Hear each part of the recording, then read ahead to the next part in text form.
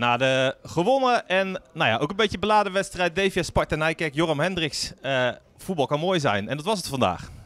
Voor DVS was voetbal eh, vandaag heel mooi. Eh, ik moet wel zeggen, vorige week hebben we natuurlijk met name de tweede helft gewoon een mindere, laat ik het dan netjes zeggen, mindere helft gespeeld voor, voor ons doen.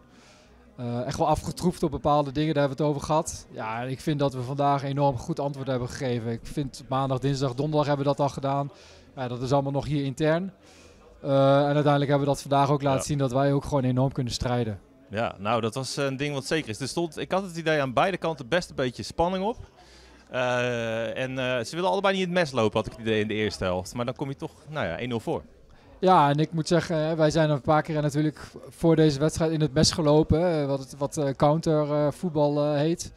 Ehm, nou, ik vind dat wij vandaag gewoon twee, volgens mij 200% kansen vanuit de counter krijgen. Ja.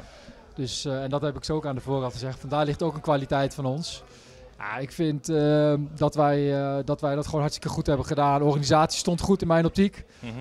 Eh, natuurlijk, Sparta krijgt echt gewoon wat kansjes. Maar ja, goed verbonden ploeg, kwaliteit. Dus ja, dat, dat, je weet dat dat ook ga- kan, eh, kan gebeuren. Ja. Ehm, maar ik vind dat wij dat gewoon terecht, eh, uiteindelijk terecht drie punten die weghalen. Ja, als je, ook een beetje, als, je hem, als je hem afpelt, dan uh, ik denk dat ik voor ons uh, nou, 7, 8 goede kansen geteld heb. En voor Sparta, nou ja, eentje opportun aan het eind. Uh, maar Ja. voor de rest niet heel veel. We hebben heel veel tegengehouden ook, hè?